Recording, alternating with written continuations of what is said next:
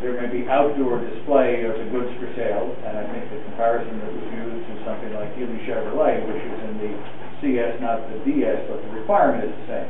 Sales take place in a building, but outdoor display of merchandise exists. So that threshold determination, which is what we were talking about back in in March and April, has been decided. The question that comes next is, now that the use has been determined to be permitted, is site plan approval required? And it's the same issue that we faced uh, on the last applicant. Uh, Section ten point two of the ordinance says that in all districts, site plan approval by the planning board shall be required for, one, the erection or enlargement of all buildings, two, all uses of vacant land, three, any change in use or the intensity of the use which will significantly affect the characteristics of the site, this is what we were talking about before. 10.2. Off-site parking, yeah. So you gotta determine whether any of these thresholds are, are met. If the sales activities must take place in a, in a building, then, then there has to be a building, so I would think site plan approval is required. I, I, that's the way it appears to me, I haven't seen the decision. They said that, when, when the zoning board said that, uh, sales need to be performed inside a structure. is that what they said? Now, I- well, I don't know what they said, but the language of the code is all permitted uses Right, other than off-street parking shall be carried on in buildings fully enclosed on all sides. So I, I assume they said that provided that the sales activities take place in a building fully enclosed on all sides, then it's permissive. Can I clarify, the the plan that was previously submitted shows a sales, I think it's referred to as a sales shed or a sales office. So that's where the business would be conducted, and prospective customers would come to the site, Mr. Riley or someone on his staff would show them the different models that were available. Once they selected them, like you would do at a car dealership, you then would go to the sales office and fill out the paperwork and then pay. This is a permanent building? If I'm not mistaken, uh, it was indicated that this was not going to be a permanent building. My, that's my understanding as well, as a shed that could Is be. that a yes or a no? I have to ask Mr. Riley. Bennett, why don't you ask Mr. Mr. Riley, the shed is not going to be permanently affixed to the site, is it? It will not.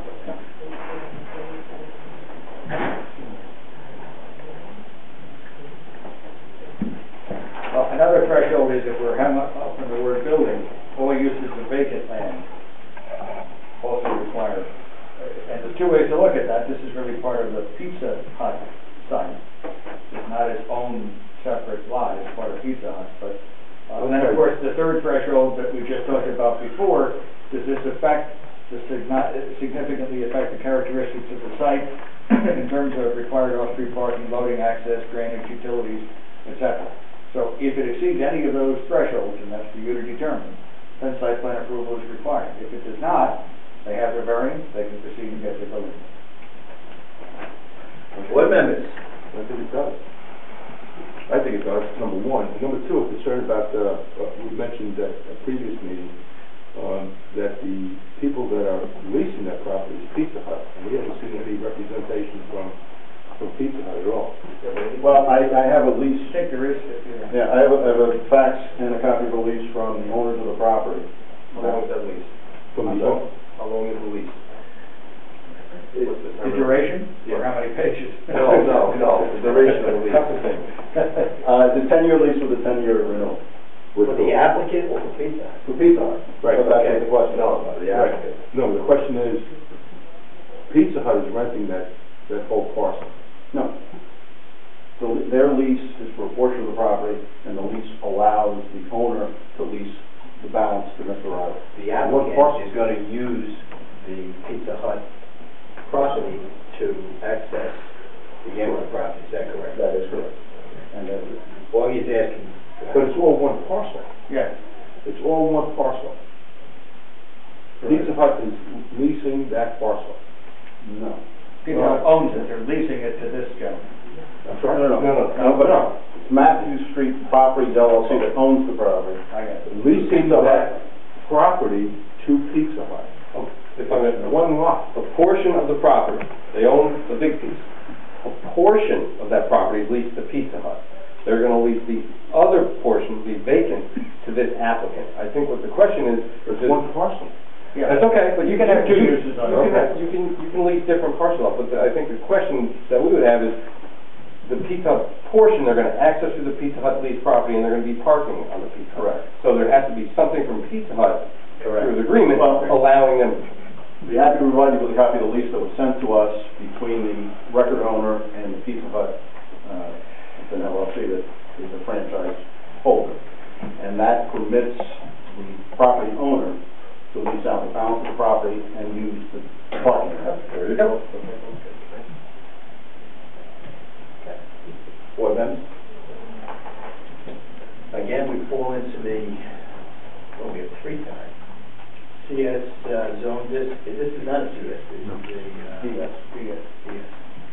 We still fall in the, uh, for the site plan approval. Ten point two applies everywhere. Ten point two zoning ordinance. You wanna Waiver it, or you wanna, you wanna have a site plan?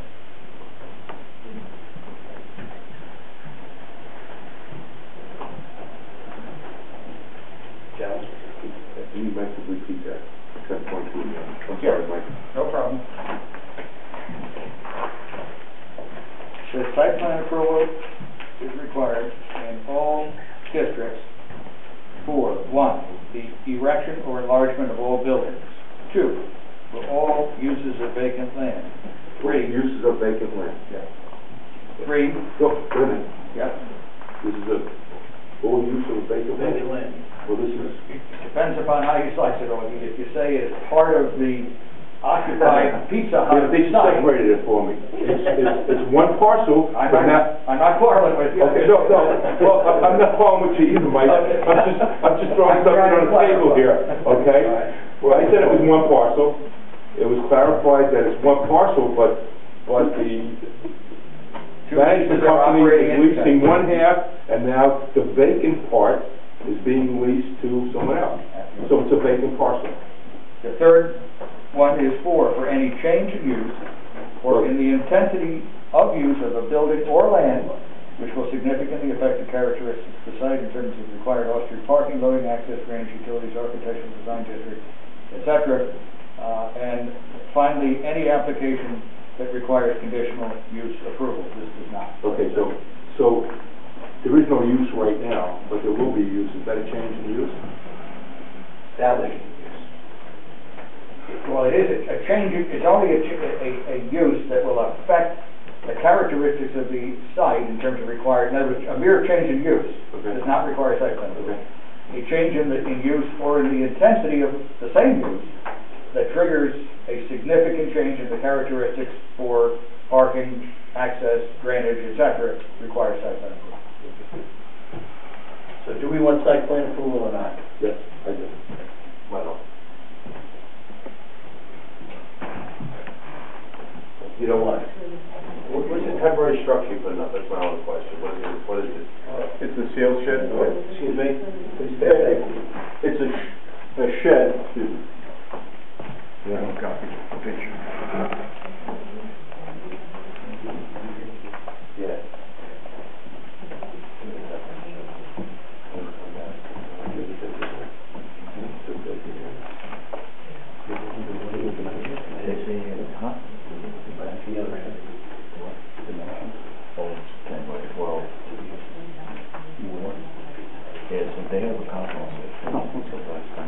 Um, this is what I was trying to look at, but what it's telling me is the shed is ten by twelve, I believe you already have a copy from the fire meeting.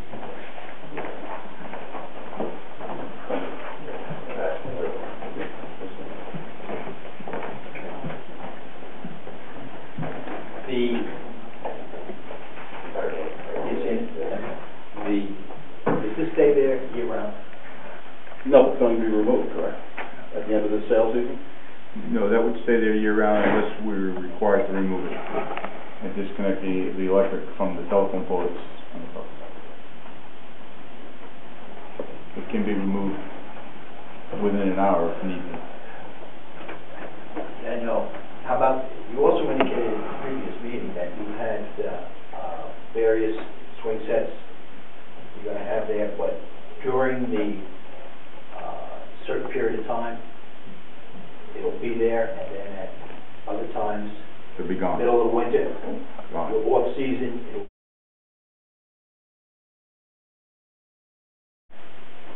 The building has never, for any conceivable use, satisfied the parking requirements of the code. The code protects it, provided that they're not increasing that demand. And the tables that Stephen has presented purport to